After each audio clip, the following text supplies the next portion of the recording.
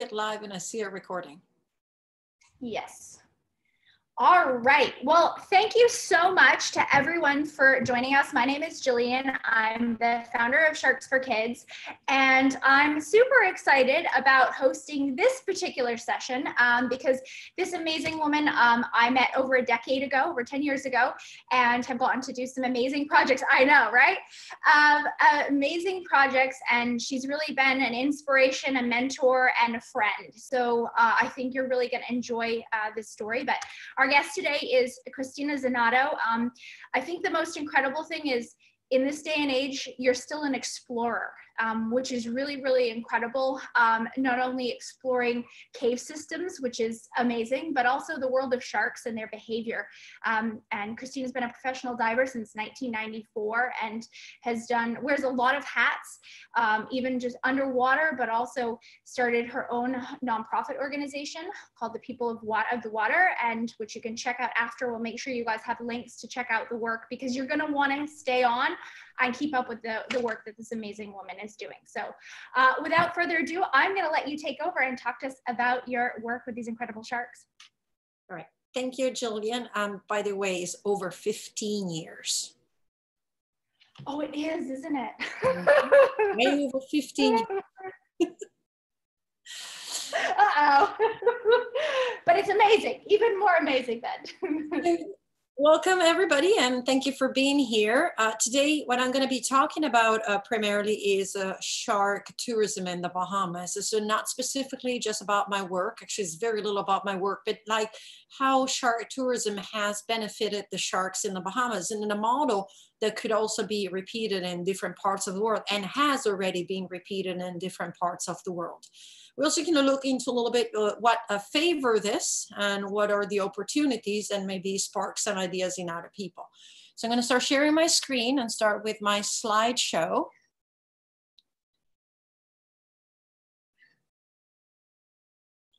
I have been working in the um, diving industry for 26 years. So I've been working with sharks for 26 years and primarily been working with Caribbean reef sharks and nurse sharks in the Bahamas. Um, I'm based on the island of Grand Bahama Island, but I also travel through the world to uh, meet and dive with different species of sharks, but also meet people that work with sharks and understand what they were doing and how they were doing in order to be able to create encounters that were safer for not only the sharks, but also the viewers and also for ourselves. Uh, that said, the Bahamas is 470,000 square kilometers, 180,000 square miles between land and the ocean. But if you look at the little red areas, you will see that of land, there's not too much compared to what is the ocean. So we are a water country and a beautiful water country, one of the most spectacular countries actually uh, ever observed from the satellite, thanks to our beautiful, shallow and clear water. And with all that water comes the coral reefs and obviously quite a healthy environment uh, for sharks and all sorts of animals but we're made of what it's called limestone rocks. So we're made of a terrain that is not so agriculturally friendly. It tends to be a terrain that basically has not much on top of it in form of uh, uh, land is very hard to create like a healthy agriculture and it's a very harsh terrain and one of the things that happens is excuse me um, when it rains, the water sits on the ground for a little bit and then disappears below ground. And this is traditionally the landscape that you're going to see on, on many of our islands, which is a palmetto fronds, some harsh uh, uh vines, and then there's in some of the islands, there's some of the pine tree forest. So it's a country that always struggle with creating agriculture. And um, where does the water go is underground. Like uh, Jillian said, I am a cave explorer and a cave diver. And through underneath uh, this dry land, there's actually quite a lot of water, but it doesn't really benefit from an agriculture point of view. So it's a very hard industry to develop in the Bahamas. Uh, we also have to deal with something that maybe quite a lot of people are familiar with, which is a very harsh weather. We have unfortunately been hit through the years by quite a lot of major storms, which uh, damage all these attempts to create maybe a more stable agriculture industry. So what brings into the uh, Baham- the Bahamas primarily is tourism and finances, and then commercial and sport fishing. So tourism, uh, this is a regular day pictures of one of our beaches. It, the tourism is attracted to the beauty of our islands. And this is really like a day-to-day view that you can have on most of our islands. So we have people that come on the island to uh, relax and uh, to party. Uh, we have people that come to do all sorts of different water sports. That could be the banana boat or sailing or jet skiing. Uh, we also have uh, people here as a special tourism come to uh, uh, become married to have their wedding done in these unique settings. And uh, part of our tourism is created also by obviously a lot of boating industry. Uh, the fishing industry is, is a very strong one and uh, it covers uh, what we call a recreational fishing. So people that come here for sport fishing, which could be uh, the bonefish in the shallow waters or uh, the deep water with deep sea fishing or groupers or anything like that. And you may be wondering why I'm talking about all of this about the sharks, but we'll, we'll get there. Just to give you an idea of how the economy of the Bahamas work, how you know finances, tourism, and fishing are so important, and how sharks enter. And then we have uh, Bahamian uh, local fishing, primarily uh, Bahamians fish on grouper, um, they have a stone crab, lobster, and then the very famous one that is uh, the conch industry that not only fuels the Bahamian um, islands, but also is exported. Luckily, we have a very healthy shark population. And how is that? Um, the Bahamas, since the 1990s, actually did something absolutely spectacular. They banned what it's called drift nets. The drift nets are miles long nets, basically scoop everything and anything that comes in their path. They're dragged behind the boat and they created basically a trap for anything that is comes into their contact, creating quite a lot of waste in the fishing method and creating quite a lot, unfortunate, of losses of life uh, during to animals that are trapped uh, can escape, maybe drown or suffocate, and then they are not used for food and so they're discarded. And the other one that they eliminated back in 1993 was what it's called long lining. Long lining is considered one of the most destructive uh, fishing methods that we have. It's sometimes miles and miles of fishing lines and marked by these float balls with flags. And then underneath there's hooks and these hooks um, attract any kind of prey. So it's pretty indiscriminately fishing anything out there, causing quite a lot of loss of damage in any kind of population, not only the sharks, but also all the other fish. The sharks is one of the one that have been affected the most. Um, luckily also sharks are not really very much on our menu or on the Bahamian menu. So they haven't never really been targeted. And that's the reason why we have this very healthy population. So how did shark tourism started? Or what is a shark tourism? We define shark tourism primarily by which people that intentionally go somewhere to observe sharks in the different methods that I'm going to uh, describe, either through provisioning the animals, so, so, there's any sorts of hand feeding, pole feeding, chumming, chumsicle, anything like that, throwing food overboard, like in case of the glass bottom boat, or locating where the sharks congregate and basically find their natural feeding grounds. But that is considered all shark tourism.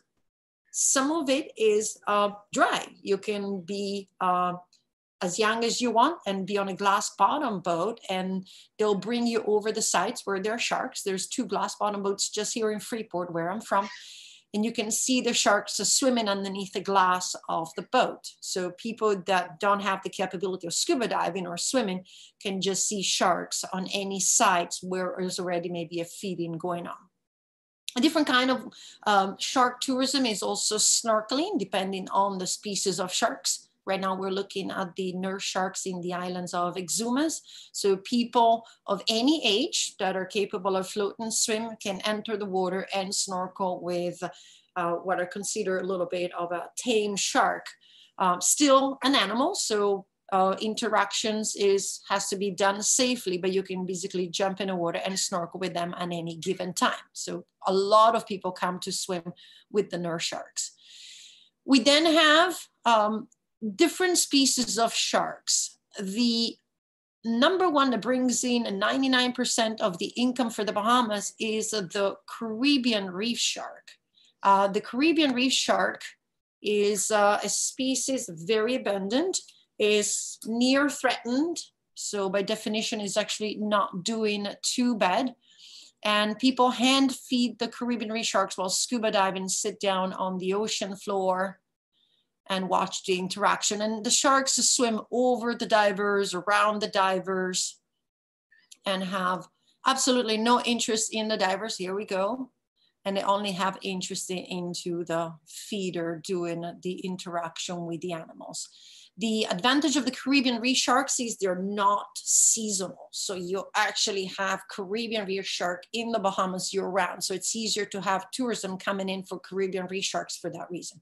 But then we have three species that are absolutely um, unique and they actually belong to specific islands and specific seasons, but they're being defined are the three shark species that are quite, excuse me, attract quite a lot of tourism. We have the oceanic white tip from the island of Cat Island. This is a critically endangered species. As listed as critically endangered is one step before becoming extinct in the wild and people come from all over the world to enjoy time shared in the water with the oceanic white tip. So that is a very specific industry that we have here. Together with the Bimini hammerheads, the hammerheads as well are critically, the great hammerhead is critically endangered, one step before being extinct in a while. And they congregate in the islands of Bimini in the winter time there is a feeding going on. This is a feeder Neal Watson. These are images taken on a regular dive. And again, the, the, viewer can kneel down on the ocean floor and have these majestic creatures just swim inches from them and take pictures and interact and just watch the people interacting with them. So very much uh, part of our shark diving industry together with uh, the famous, maybe the most famous uh, Tiger Beach, uh, where divers again, this is again Neal Watson from Bimini Scuba Center, can actually have 14 foot tiger sharks and other sharks, lemon sharks and bull sharks and Caribbean reef sharks just swim inches from their heads and not only learn something maybe that they didn't expect about our sharks, which is the sharks know the difference between the feeder and the people that are, watching. Uh, the sharks are not mindless eating machines. The sharks have no interest whatsoever in these people watching. They're just interested in the bait that the person is taking. But this also creates ambassadors, creates people that have an interest in sharks and they want to know more. And once they want to know more and they learn more, they can also share more with other people and can bring back true information. So they can go out there and tell people, hey, no, it's not true this about the tiger sharks. I was in the water with them and they didn't even pay attention to me.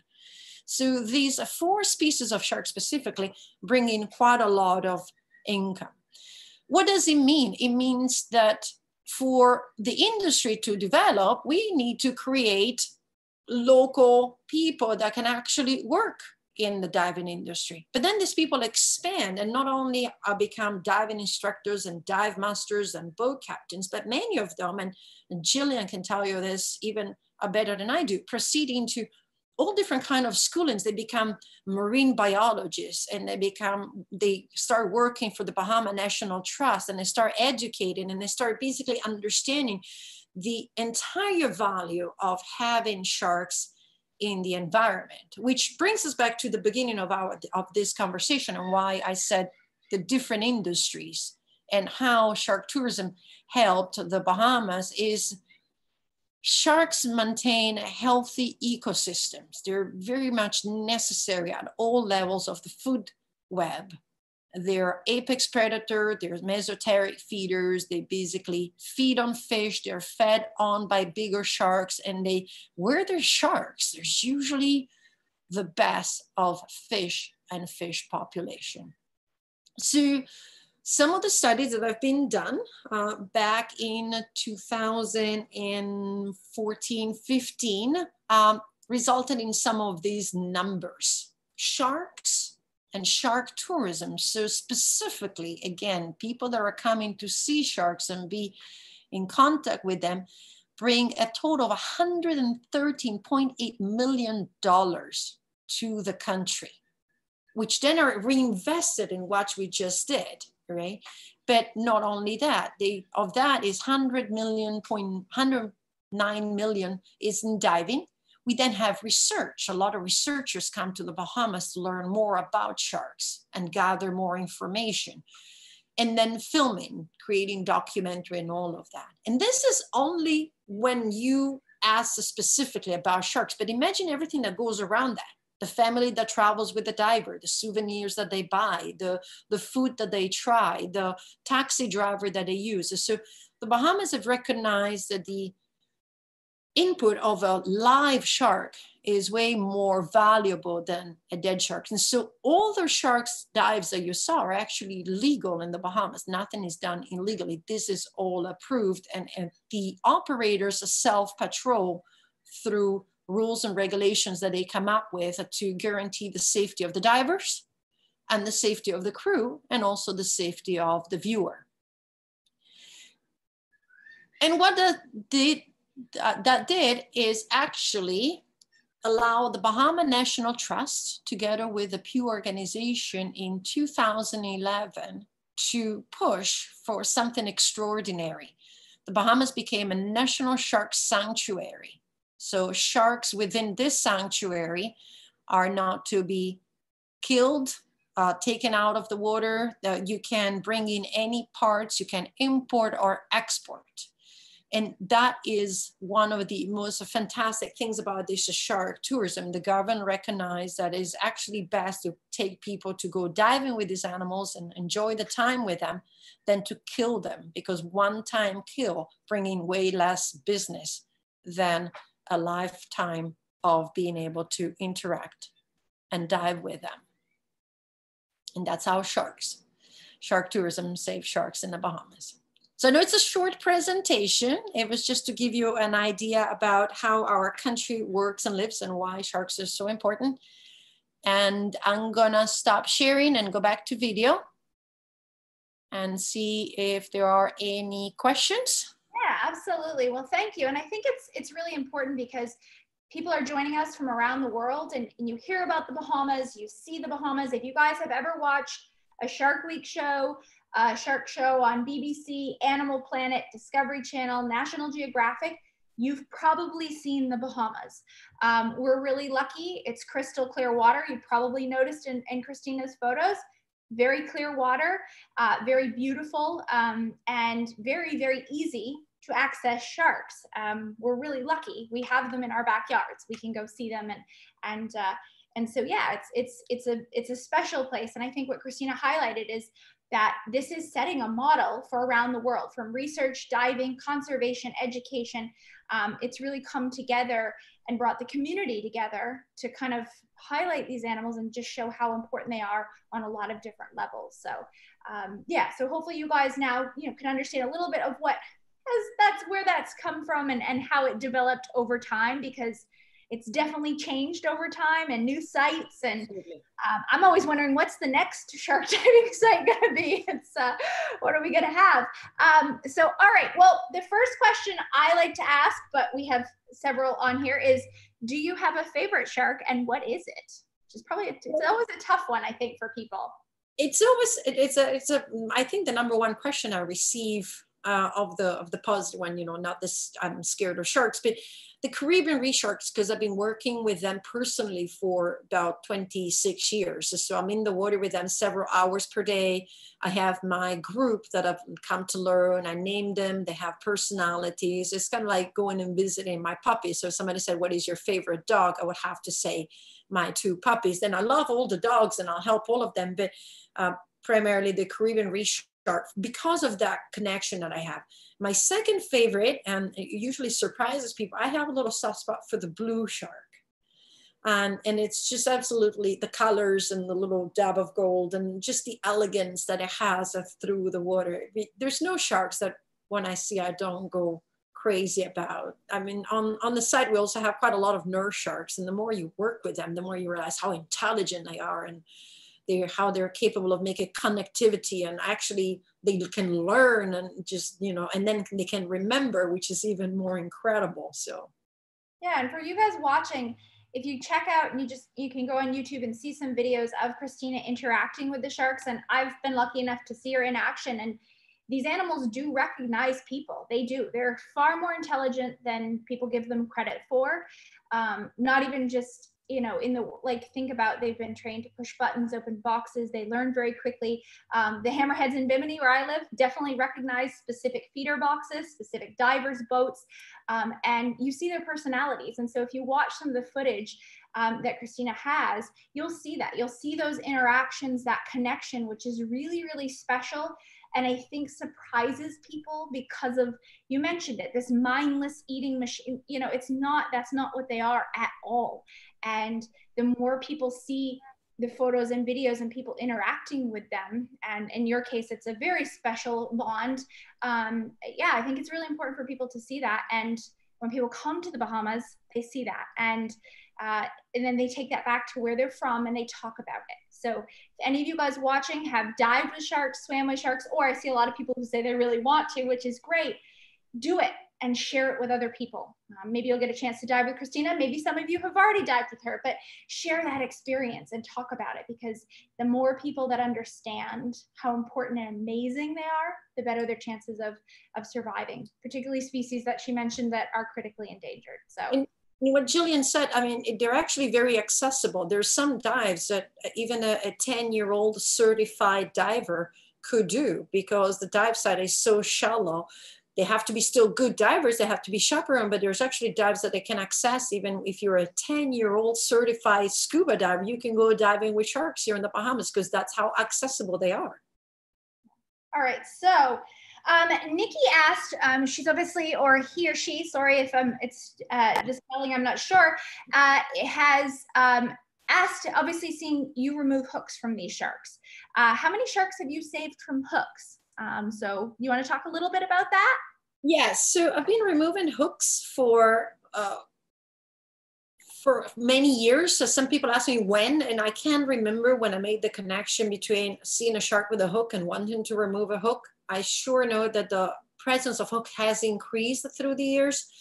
I haven't saved maybe that many sharks, but I have removed over 300 hooks. And what it means is I tend to have some of my sharks sometimes that show up with hooks on a repetitive basis. So imagine if the sharks that didn't remove the hook, then it would have the next one and the next one and the next one.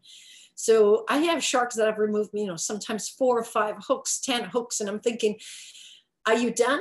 But it's really funny because when I see, and there's primarily a certain group of sharks that have the, the hooks, I actually do realize I'm thinking, this must be the strongest one of the pack because it's the one that gets to the fish the fastest and the soonest. That's the reason why it becomes hooked. So it's actually interesting to see the sharks are have more hooks than others. The other thing that is interesting is as I remove hooks from my known sharks, other sharks that I've never seen before start showing up on the outskirts of my action. So I'm, I'm trying to remove a hook from one of my sharks. All of a sudden I can see a shark and as I recognize them, I'm like, oh, that's a new shark. And they show up with these hooks it takes a while to convince them to come in, to trust me, to allow me to touch them. Sometimes it takes dozens of dives for a new shark just to do it. But I actually had new sharks showing up and then staying in the territory after I removed the hooks. That's amazing. And it's just, you know, it, it's watching their behavior and someone who spent as much time with them, it's, you really do start to see that. And, and that's again, incredible and incredible to share. Um, so kind of leads into this question, Kiefer, who's been joining us for a lot of these webinars. So welcome back. Uh, what is the most exciting moment you've had with sharks in the Bahamas? Because obviously you've traveled the world, but what about in the Bahamas? What's the most exciting moment for you? I think the most exciting moment, which is one that luckily repeats itself almost every dive, is the first time a shark came and laid in my lap.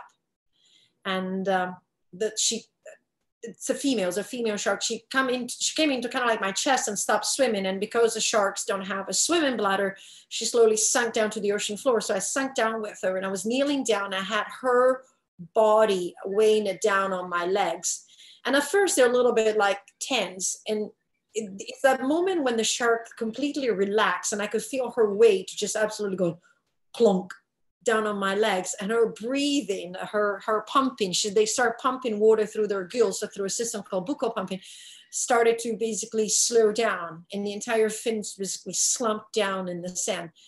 The first time it happened, it was uh, magic and it was unique and it was special because my mentor Ben Rose was there and was looking at me. I'd been learning from him and I've been desperately wanting to have this connection with the sharks. And when it happened, I remember I was sitting there with the shark and I looked up and he was looking down at me with a nice nod of approval.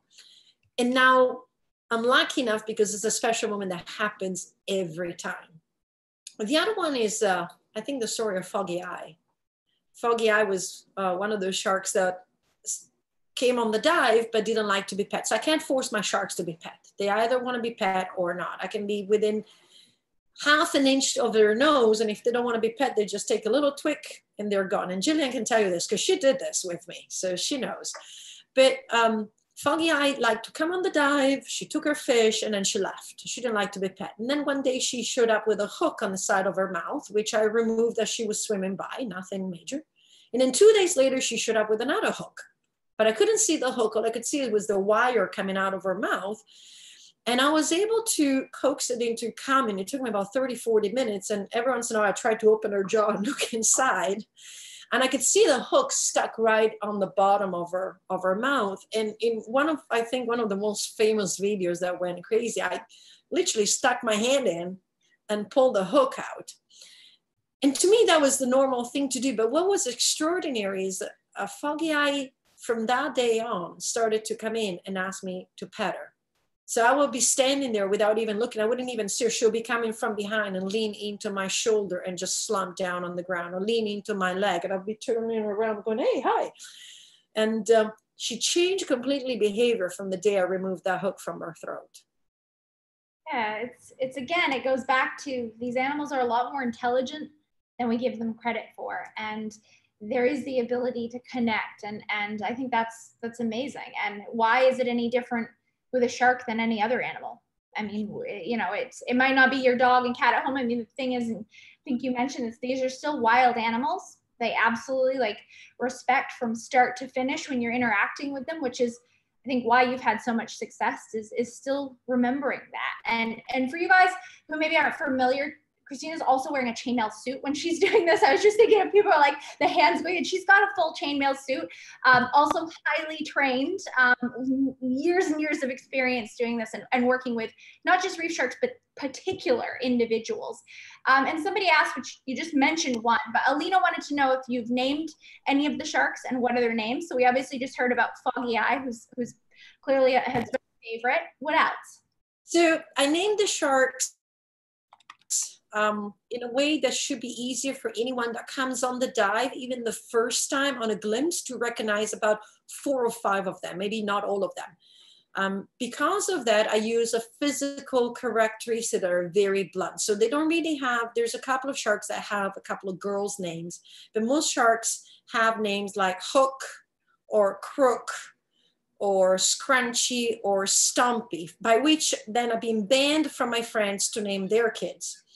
But so, and the reason why is is very simple. Is is nothing. Is not the meaning. But I have like it, it would be kind of like somebody saw me and then they said, "What's what's her name?" His name. Oh, her name is Scar. She has a scar under her eye, right? So it's easier to recognize. So hook dorsal fin has instead of being flat, is like this. It looks like a little hook. So anyone that I say hook has a dorsal fin like this is, is the only shark that has the fin like this. It's easy to recognize. And then a crook has a little bit of a cricket fins, you know, the little bit bent. So I call her crook. So if I if I give someone and say, hey, that shark is doing this, it's very easy for someone to connect. The some names are a little bit different, like grandma, her name is like that because she's a big, light, light gray shark and very, very slow and gentle. So I call her grandma. And then a couple of them have a female names. I have Liz, her name is Liz because she has like a black dot right here, like a nice beauty mole like Liz Taylor used to have. I just aged myself. but you know, the beauty mole. And um, Scrunchy, for example, is a male and he has like a hole in his head, a hole in his head that basically healed and scrunched up his entire skin. So when you see it, it looks like it's all scrunched in instead of being nice and smooth. But that allows people to like, oh, I saw Scrunchy or Foggy Eye has a completely blind black eye. Caribbean reef sharks have a cat eye, so they don't look like tiger. This foggy eye has one eye that looks like a tiger shark. So when you see a shark with a just black eye, that is a foggy eye. So that's how I came to name them. It's primarily physical characteristics and some appearances and it's amazing too because I, I see it in Bimini with the hammerheads named and people want to know. It's a little harder because they're Greek gods and goddesses and not named after uh, a feature. Uh, but yeah, people are like they want to know. They get really excited, and again, it's it's taking that dive to another level and connecting one on one and treating them as individuals versus oh we, we swam with sharks. And, uh, and so yeah i think it really highlights for people that these are unique animals each one. And they do have person i mean just what you've talked about a little bit. It's clear that they have personalities. And yeah so i think it's it's always fun. And i love it too. I mean when we get to go dive and i saw gaia today and medusa or scylla who's my favorite animal you know it's it's fun to be able to to relate to that. So well very cool. lorraine oh, so it, one of the things about sharks that sometimes I notice is uh, um, we tend just to, group them and we forget they're actually uh, animals, right? One of the things is they're all they want to do is live and let live in a certain way. Yes, they feed on fish or anything like that. And uh, uh, the other mistake that we do is sometimes we tend to compare them. Like I have questions like, oh, do sharks, the sharks don't do this like a dog or don't do this, they're going to do this like a bear. Or they're not a mammal, they're not a dog. So uh, maybe their level of interest and um, connection with me is different, but is the level of connection of interest that a shark can master. So I think as humans, we just need to accept a little bit that as animals, right? Yeah, absolutely. So Lorraine wants to know if there's a species of shark that you haven't worked with yet, but that you would like to, and why? Question. What a nice question. Huh. A very difficult one to answer. To work with, uh, sorry, I don't know how to turn that one off. Uh, um,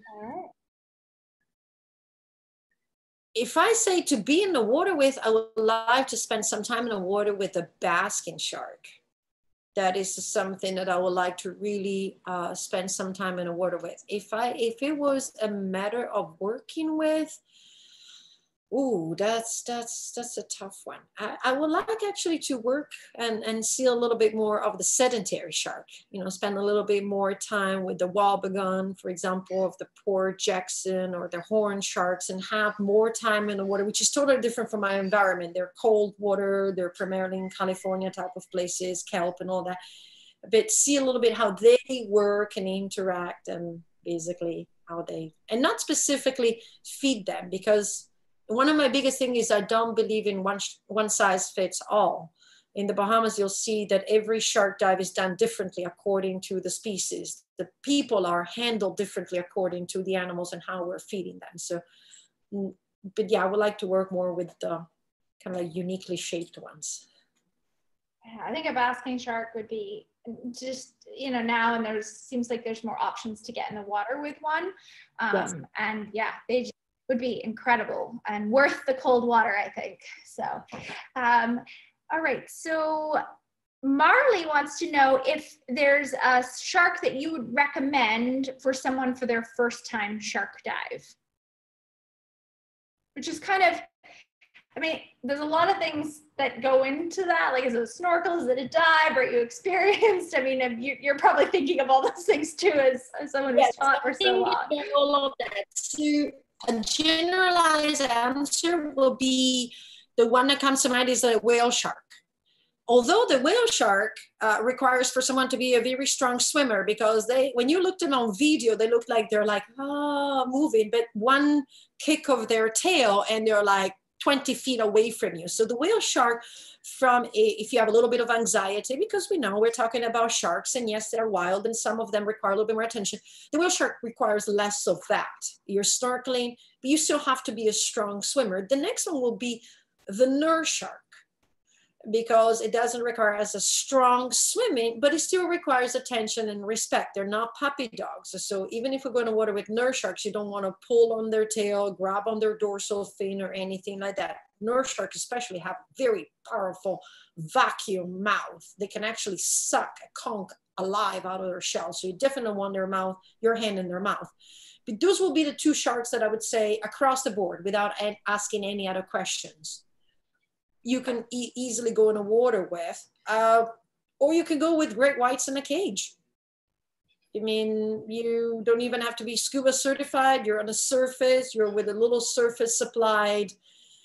It's a little bit of cold water, it's a little bit of rough water. So there's quite a lot of questions that I would ask someone. Mm-hmm. You know, who are you? How old are you? Do you have certifications? You're not certified um, are you going with your kids? Are you going by yourself? All those things are in consideration but yeah those will be like just the three ones. What do you think julian? Yeah I, I would agree. I think it's there's a lot of aspects that have to go into that.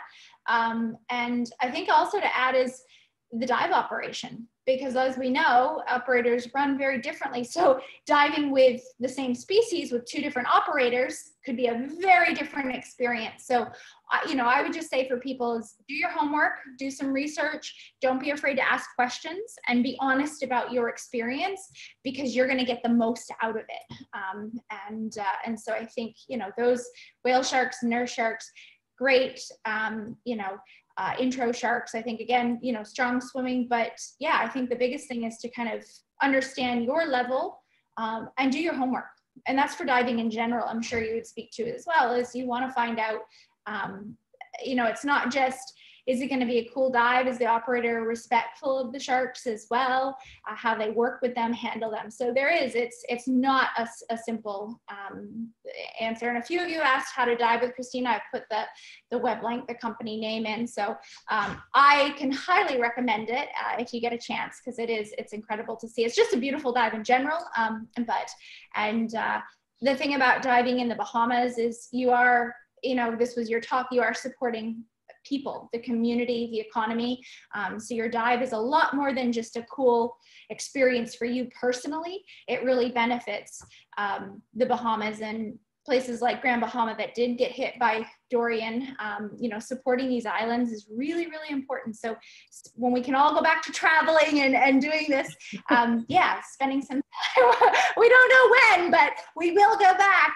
Um, yeah, that your, your dives can be a lot more than just a simple, amazing experience for you. They can support a lot. And, and we see that in the Bahamas. So um, I've had a lot of people ask, why sharks? all right, you were diving, but why sharks and why sharks for so long? Because you've obviously stuck with it. It was amazing. And you said, right, I'm going to keep doing this.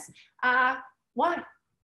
Um, so what the sharks, I grew up luckily in a family where um, the, the ocean was like our backyard, our playground and um, family where mom and dad always taught me that sharks are animals and there are no monsters in the seas only the one that we make up in our heads. So i grew up with a vision of a shark just being a creature an animal. And i remember asking my dad i said oh i'm going to be able to see a shark and him being from the military and being in the ocean for many years always said is it will be very lucky. It's very difficult to see a shark. So i grew up with this luckily balanced outlook on sharks. But then I realized that it was an outlook that not many people have. A shark is being demonstrated to be the one of the words that triggers the scary, the, the most frightful reaction in people. They did a, actually a University of Yale did a study and they would say things like fire, you know, earthquake, shark. And the emotional response to the word shark was actually one of the worst. So I realized they needed maybe someone to help them. And because I love them so much, I also wanted people to understand why I love them so much and maybe why they should have learned, if not to love them, to appreciate them and to understand them and to accept them. They've been here 400 million years. They've been here 200,000 years. I mean, seriously, uh, this, there's no comparison. And that also tells you we're not on the shark menu. But it was, it was the reason why maybe I have a little bit for the underdog, you know. Um, Jillian too, she, we have in common sharks and love for pit bulls. but it was just to show something different. But I think they're fundamental. So that's the reason why sharks. And why did I stick with it so long is they're they're my family there i had people asking me do you ever get bored to go down and do the same dive? And it's like no i never get bored to open the door and see my puppies wagging their tail and seeing me. I never i'm never bored to take them for a walk or take them to the beach and watch them. So it's the same thing with sharks. I have this connection with them. It's it's not just a okay been there done that tick. I'll i'll i want to keep i'm suffering right now. I can't go out in the ocean with the sharks I know. I'm absolutely and devastated. and people probably ask you too. I mean, we get, you know, I have friends that, oh, it's just another nurse shark. And I just always am, anytime you're in the water, we can breathe underwater. We have equipment that allows us to be in the ocean. First off, that is incredible. Um, and second off, is we're down there in this wild world and we're part of it for just a few minutes. And and i honestly hope you know i wish for everybody to not feel like that oh i took the box. Okay cool. Is that appreciate that because it's so special. And yeah it's i hope that i never am like oh it's just a nurse shark. Um, and uh, you know there's definitely some dives with the hammerheads where maybe less of them. But yeah it's it's it's that's appreciation. And i think it's not just the sharks it's the whole being in the ocean um, that's really really special so we're going to finish with one great question that i know this is probably helpful for a lot of people but uh, Harshita said she recently read your article on the Siren Project, and she wants to know what advice that you would give for young explorers. And I would say probably people who are interested in maybe diving, doing this kind of work in general, uh, you know, caves, sharks, all of that. What, what advice would you offer? So uh, it is one of the questions that I receive a lot. How do I become you or how do i get to do what you do and it's it's a very tough one because i obviously don't have a direct answer um, the two things that uh, bring in common and you, you can see that just by having you know jillian and myself here is one of the route we picked is to be where the sharks are um, so we live in the bahamas and we live close to the sharks and then i went the route of the uh, diving professional which a lot forces me to do other jobs. I mean, I wish I could only be in the water with sharks. I actually have quite a lot of duties to do and other works to do. And then Jillian went the marine biology way in, in a different in a different way. But at the end of the day, our road and our path crossed uh, with the same common thing. So it depends on what what what interests you the most. I had people say, "Well, I have to get into law and uh, environmental." I'm like, not necessarily. You can be the scientist that bring up the data that then gives to the people to talk about the laws. That's what I do in cave diving. From a, a personal point of view is um, you need to put in, to find what makes your heart beat faster, what makes you wake up and be happy to do it. You need to understand there's a price to pay. There's always a price to pay. Um, and you need to make sure that the price to pay, though, is the one that you're willing to pay right? You look at the price tag and you're like, yeah, I, I want to do this and I can afford this and this is really for me. And then that's what you do and you, you pick your choices. But then you need to put in time and patience. And uh, I always say when I talk about cave diving, but this applies to, and it takes a village to make to make a diver, to make a cave diver. It takes a village to make someone. So go and learn from other people, take opportunities, volunteer, intern, learn other skills. Everything then comes in together. I am a diver. I'm a technicians. I'm a hydro person. I had to learn physiology. Now I have to learn photography and Photoshop and Excel spreadsheets and how to send out my own thing. So remember, learn laterally, not only vertically. And in a certain way, don't learn trying to say, well, if I if I do this, this is the immediate result I was. Maybe this is something that you just put in your back pocket.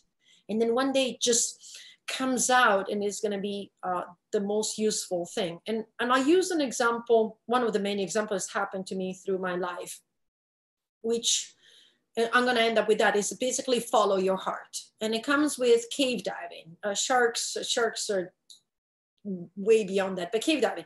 I love cave diving and I always put so much personal time into it. And through the years, I learned how to do the side mount, then I learned how to do survey. Then I figured out there was this new survey method. So I went after that technology, then I went after this technology and I learned, learned, learned, and I spent all this money. And I was doing all this work till one day somebody turned around and said, Hey, we need somebody that is expert in the caves in Abaco. My friend Brian Kakuk, who works there, they need to be experts in the caves in Abaco, where I spent a lot of time and money to go and visit. They need to be expert in this kind of survey and they need to be this kind of cave diver. And I was like, tick, tick, tick. And I ended up on a Nat Geo photo shoot exploring the caves in Abaco doing. And a lot of people said, lucky you. But the thing is, it was like 10 years in the making. And I didn't do it with a concept of saying, oh, one day I want to be on Nat Geo. Well, you can say that, but it happened because I followed my heart and I said, okay, I'm going to learn this and I'm going to learn that. And I learned this about the caves and learn about that about the caves. And all of a sudden, all of that came into fruition. So learn laterally, not only vertically, put in time, put in passion, and put in patience. And don't listen to those that can tell you when are you going to get a real job. Yes. Don't listen to that. Agree to that. And I, I've those of you who watched the sessions I've hosted, you've heard me say this is there's logistics, time, energy, so much that you don't see behind the scenes, whether you're talking about tagging sharks, diving with them, running a cave system and going through like because now in social media we post the really cool photo the final photo the this it's uh, and so people don't realize how much time and energy and effort and equipment and money and knowledge and experience goes into things. So yeah building all those pieces that you might not think are obvious because you want it now but they will come in handy and it will come together. And i agree with cristina in that people might question and say, oh, why don't you get a normal job? What is normal? Uh, follow your heart. You will be so much happier than that normal job or what somebody else decides for you. So, um, yeah, very, very important words of wisdom. And Thank you guys for all the amazing questions, everyone who joined, and thank you to Cristina for sharing your knowledge, your experience, and, and your beautiful sharks with us today. So thank you so much.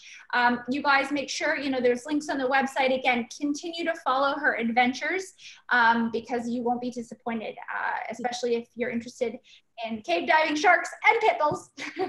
so, uh, but thank you so much, everyone. Have a great day. Thank you, Jillian. Bye, guys. Thank you.